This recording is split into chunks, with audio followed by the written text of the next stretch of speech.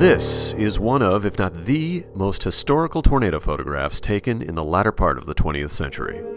On Palm Sunday, April 11, 1965, a significant outbreak of over 50 tornadoes swept through eastern Iowa, northern Illinois, northern and central Indiana, southern lower Michigan, northern Ohio, and southern Wisconsin.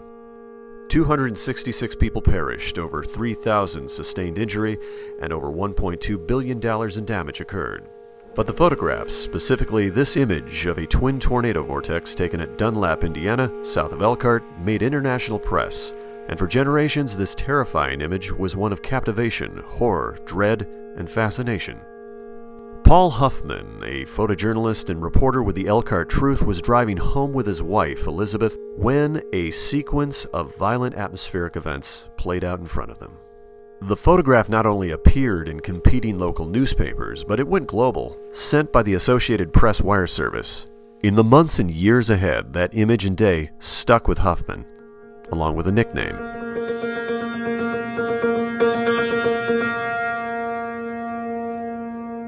Testing. One, two, three. Testing. Hello, hello. In June 2010, Bob Hartig, a writer, storm chaser, and musician who grew up in the Michiana region, sought out Paul and Elizabeth Huffman for a first hand account from that day. This is Paul and Elizabeth Huffman's first hand recorded account about April 11th, 1965. And that photograph.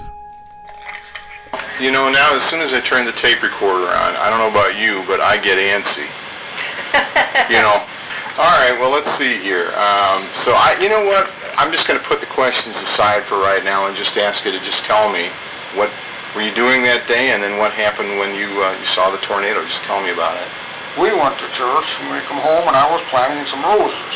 Mhm. And I was out there and I told her, I said, we're in for a storm.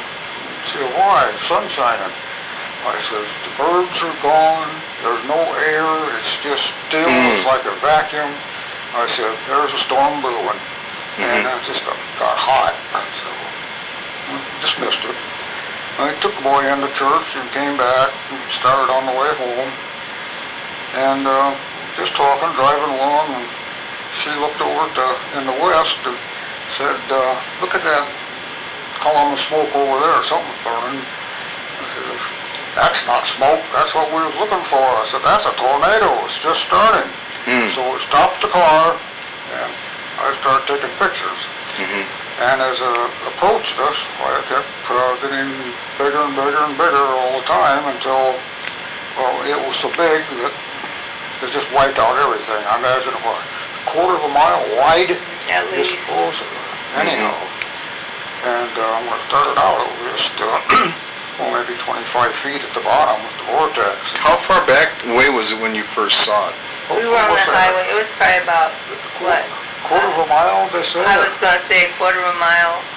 They're at in the Kircher, field, Conrad's Gladolia Farm. It was coming across the Gladolia farm, which was dirt. But when you when you first you first spotted it, I mean, did you notice was did, was there hail? There was no hail. It was windy. Okay. There was no hail. It, as a matter of fact, I'm not even, I don't think it was raining. It Wasn't raining. But it, it, the wind increasingly got far, harder and harder Mhm. Because as he stood out there, I kept yelling for him to get in the car because his clothes were blowing, and I thought he's going to blow over. And uh, so he was hanging on the car to keep steady so I could keep snapping. You were, you hooked your leg around that. Yeah. Where'd you put your leg? I mean, was it? Uh, And we had, That's we had, had bumpers on the car.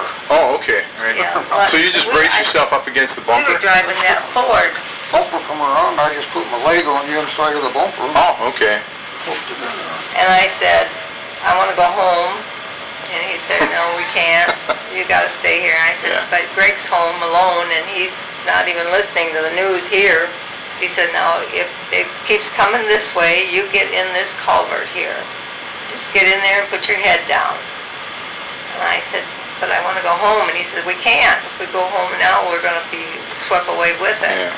Hmm So he just kept shooting pictures, and then I sat there and watched it come down the railroad tracks at me because every time it hit a telephone pole, I see balls of fire flashing out. hmm Yeah.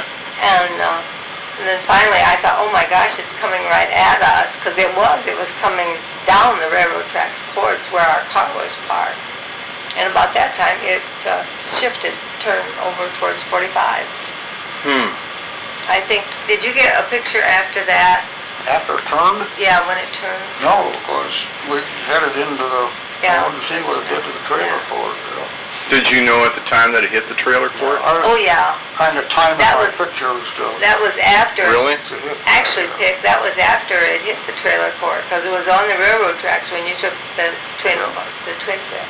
Hit the trailer court and coming down the railroad tracks towards us, you know. and- Okay, 'cause so you knew before, Oh, yeah. because I'm trying to piece this together. We saw bits of things flying Yeah. all over the air, and that was another thing I was concerned about. I thought he's gonna be hit by something, because everything from the trailer court was also flying out over the highway. Mm-hmm. Then, but as soon as it turned, he got in, and we went by the, real slowly, by the um, court, and Pic says, we can't do anything by ourselves, we gotta get home and get some help. Yeah. So we went on home, and we did make two calls.